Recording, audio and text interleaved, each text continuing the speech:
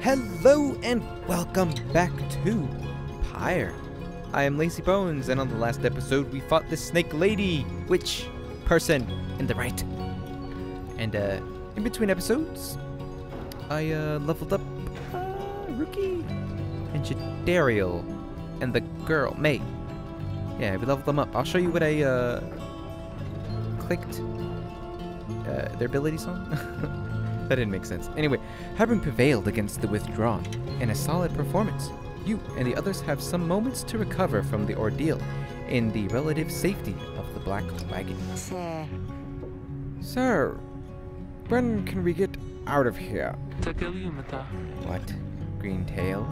Had enough of Udher's hospitality for a time? For the time. Keep saying uh instead of the. Er, Jody. Yeah, thanks. Uh, I'm good. The radar and the stars will point the way, as ever. It's just, so far, we've kept on going north. Is if that's the case again this time, the Sea of Solace spreads north and west from here. For untold leagues, I could not tell you what last the vessel dared to sail those waters. Ti'zo asserts himself during the conversation. What is the matter, little one? Ahem. Ti'zo is trying to get you to look. Uh, wait, wait, wait, wait. I messed up. Ti'zo is trying to get you to come look at uh something outside the wagon. Reader, please go and see what he wants. You excuse yourself and follow the imp into the dark of the night. Find May and the lone minstrel already gazing up at the stars. Magania Filifasi? Can you not read the stars yourself? Then, Mr. Minstrel, La Fortadira. I fear. Wait, wait, wait. I fear it is not so simple as matters of can or not. What? I fear it is not so simple as matters of can or or cannot. Oh, when it, it comes to me. Nay, we shall see what the reader has to say. For this is his charge. Why was that a confusing sentence? Anyway. And here he is, in fact. Thank you for fetching him, Ti'zo. Shiha. Ti'zo is happy to have obliged the lone minstrel. Reader, it would seem the skies have cleared to some extent. Please, look upon the stars and see where they compel us to go next. You look toward the heavens.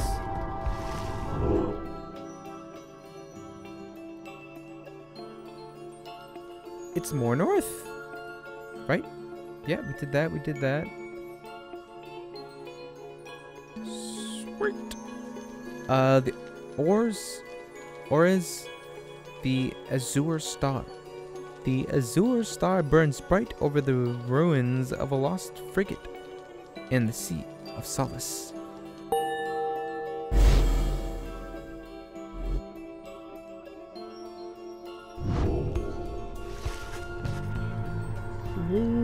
Uh, the rights beckon you still further north toward the middle of the Sea of Solace.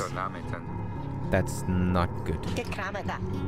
You're joking, right? Oh wait, what? That's not his voice. You're joking, right, chum? Does the reader seem the joking type to you, Greentail? We do not argue with the stars. Yukare Kamta. You talk like we could just go ride right into the water. Premiscavas. Pardon my interruption. Though, perhaps we can. Kirsa. Say, Rod, Tamagraje. my client, Sa- Sandalwood. He has a way of anticipating such eventualities.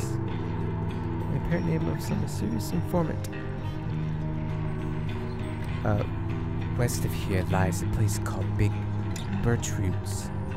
The proprietor is an old companion of his. She may be able to assist us. A small dweller outpost at the edge of the sea. Hedwyn's smiles. Returns. Hedwyn's smile returns. Okay. That sounds like our best shot right now. Let's pack it up and move as soon as possible.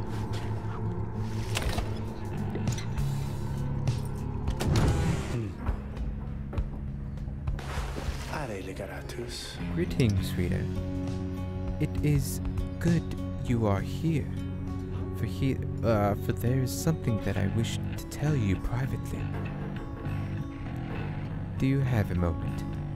I shall not keep you long, though I know your time is precious. The lone minstrel wishes to tell you something of the right. Right. The lone minstrel seems a wellspring of information concerning your quest. Uh, your concerns right now do not include a need to hear accounts of ancient history. Sure, let's hear him out. You bid him to continue and make clear your interest in whatever he has to say. Petaritas. Very well. And thank you for your time. And I should further note matters that pertain directly to the rites I must reveal to you alone, for thus I am obliged. In any case, when you confront the withdrawn, confronted the withdrawn, and the witch, old Herm- Mildhair, you might re- recall she tended to invoke a certain name.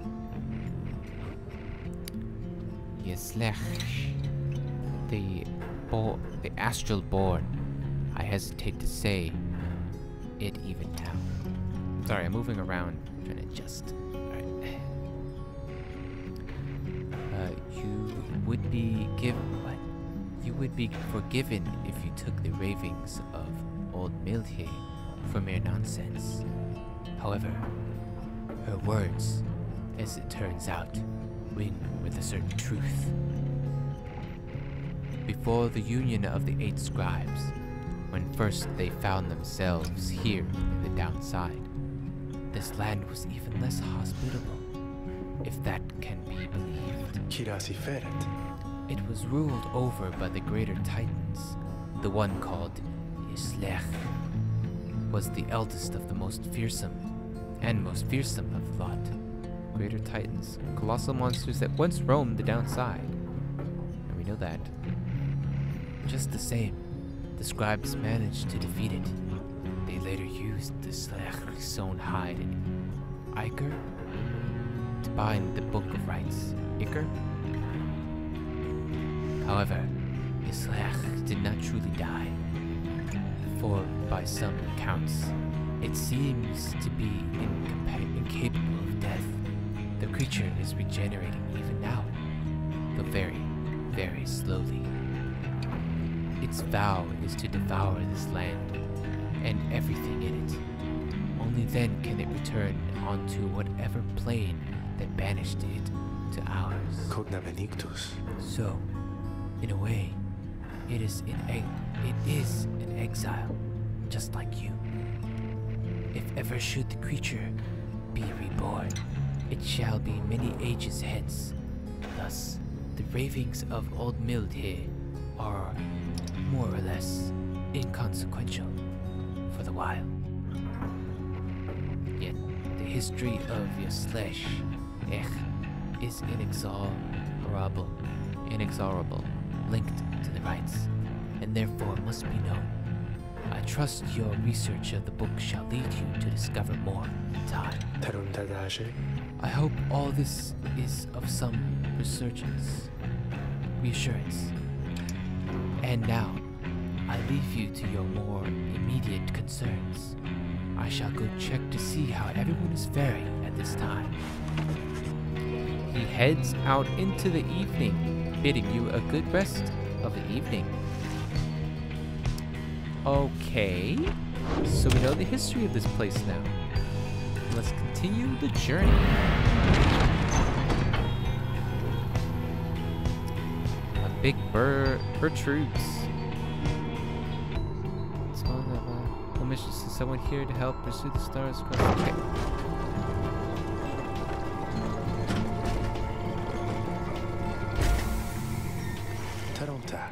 This place. Uh, let us go to see my client's companion as soon as you're ready. Seek. Oh, nope, someone wants to talk. Oh. He seems to have something on his mind. You find Rukey rummaging in the corner of the black wagon. Hey, chum. You know what? It's good to having somebody else around besides those two. So, come to think of it, there's something I wanted to get uh, you to take on. And you have to promise to tell me honestly. Eh, Would you say esa. what I mean is, um, Em, He hesitates, trying to find the words. ah, look. What I'm trying to say is, um, You sense something serious is troubling him. He moves in very close, making sure no one else is in earshot. It's about my mustache. I've been getting some conflicting reports about it. Would you say my mustache, uh, that it makes me look a bit, uh, you know, unscrupulous? Rukey wishes to know if you think his mustache suits him. It, uh, say it looks perfectly fine. Say it might be better off you, huh? He might be better off without it. Say nothing. Hmm, it is very handsome. And if anything, and if anything, it gives him a distinguished sort of look. Something about it makes him appear less trustworthy, and perhaps less youthful too. Well, I mean, it's kind of stylish in a hipster sort of way. And I like it. A dog with a mustache. It's it's adorable. So yes, I would say I like it. You suggest that Rukey's mustache looks perfectly fine. He grins wide at you. Couldn't agree more, chum. I knew straight away that you're a real judge of character. Anyway, I got to check the wheels again for mites. See you around. He bounds off out of the wagon. His mustache is what gave me his er, er, er, accent. Rukey gained plus one hope for the next rite. Sweet. Sick Big Bertrude. Oh boy. Big Bertrudes is a sickly gathering of bog dwellers who stay within shadows, yet you can feel their eyes surveying everything. The lone minstrel steps forward. Salindum sale. Sandalwood, send us. Send us. Oh, oh, oh. Those words are enough to make the bog dwellers snap to attention. They emerge from the mud and dark and begin inspecting your blood black wagon with their strange tools. One of the bog dwellers slithers forth. She is larger than the rest and leaves no doubt that she commands the others. Huh. Thou shalt speakest the name Sandalwood. We should know his whereabouts. Reveal them to us. Gratem sale. Good day to you, Big Bertrude. It is a pleasure to meet you at last, for Sandalwood always spoke highly of you and your handiwork. Yeah, he did. He did. In turn, we know who thou must be. Yet, thou speakest of the past, Sandalwood. Doth he, doth he, what doth he yet live? Speak plain and quickly. Cognabenitus. To be quite frank with you, madame, I do not know for certain, for I have been apart from him for some time, carrying out his will. Though I have every faith that I, Sandalwood, lives. As for his current whereabouts, I understand that he awaits us somewhere near walking waking wood beyond the waters. A labyrinth of a forest on the western half of Black Basin. Oops, my mouse hit it. Uh, da- da- few, few know their way around it. The path to the sacred Mount Alodil lies far beyond these suffocating woods. Okay. We wish to seek him there, though, as you can see, our wagon is ill suited for the task. The one called Bertrude frowns at this, studying the lone minstrel all the while. She is a bog dweller once feared and respected in the Commonwealth for her sorceress work. Yeah, indeed. Then leave us. Return at dawn. That is all. Ma forte varos. By your grace, Big Bertrude. The lone minstrel turns away, but Hedwyn stops him. Commentus. Hold on. Are you sure about this? Leaving the wagon in this in their care. All shall be in accordance with my client's plan. You keep calling Sandalwood your client. He must reward you well. Aye, in a manner of speaking. He helped me find a sense of purpose I thought lost. Hedwyn nods at this, then turns to you. Well, my friend, I guess we'll see what happens, right? I'm off to let the others know. You find yourself with time for your vocations, while the bog dwellers go about their business. Uh, ways in which you can make yourself useful during occasional moments of free time. Let's see. Oops, what did I hit? Um, search the surrounding area for valuables. Oh, okay. Forge. Study in private.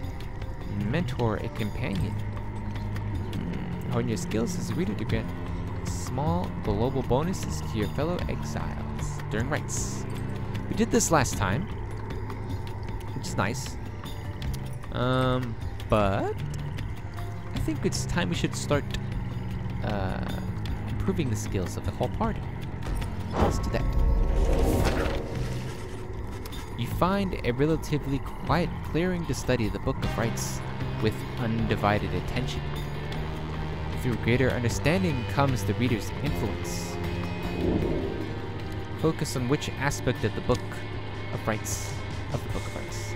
Its teachings and their wisdom, its authors and their powers, its innate mystic power, its fundamental purpose. Why is this one master the other aspects of the book to unlock this? Oh, got it. Cool. Hmm. Presence. Each point of glory raises how much fire your exiles deal to the adversary's pyre. And the rites. That's probably means damage.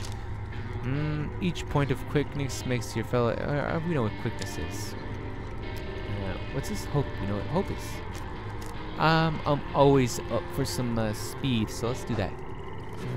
Speed is good. You concentrate on your knowledge of the eight scribes and how, together, they compose the Book of Rites. Among their many feats, inspiration comes to you in a flash, whether from the book or from within. You cannot tell. You gain the reader's influence, celerity, celerity. Finish studying. Continue the journey. Ay, my tuck hurts. Ah, My seat is not comfortable. Alright. The lone minstrel finds you early the next day. Reader, it is ready. Please, come have a look. The others are already there. The lone minstrel beckons you to come to see the wagon. Step inside. Is it fancy? Well, they added a table. Nice. The black wagon appears different now than it did even a day before. The hall is fully sealed and reinforced, and all manner of nau- nautical equipment adorns the port side. Oh, I didn't notice that. Pare. It's a fish. I. Wow. Tiludas sentas? You people seeing this? No, that's not his voice. You people seeing this? I'm gonna look, have a look around. Atracar un para. Uh, the, the, the wagon should be fit for sea voyage. Let us depart at the earliest convenience. Cogna per dare. What about Big Bertrude? Huh? She then appears, as if on cue. Tell that Sandalwood he owes us twice over. If I may, Big Bertrude, you could tell him yourself. If you wish to accompany us in our voyage north, our group would welcome someone of your vast experience. Dare thee make flirtations upon us? No, I. Enough. But should he see that Sandalwood, tell him also to come visit us again. Now, be gone from here. And tell no one that we were paid in favors. She slithers off without another word. Soon, the lone minstrel breaks the silence. We are fortunate that she assisted us, but we should go. Just as she said, I know the navigational controls and shall explain. Liriamica! This is so exciting. I know I don't know how to swim. Shki. Ti'zo seems to share May's enthusiasm for heading out to sea. Oh, Nog exagerat. I am beginning to feel ill already. Your black wagon became seaworthy. The Sea of Solace awaits. Set sail! Oh. All right. I'm going to end the episode off here. On the next episode, we'll go to Wyarm Gulf. So I just want to say thank you so much for watching. Hope you enjoyed it. Please take care of yourselves. This is Pyre. I am Lazy Bones. And I'll see you on the next one. Bye-bye. Bye.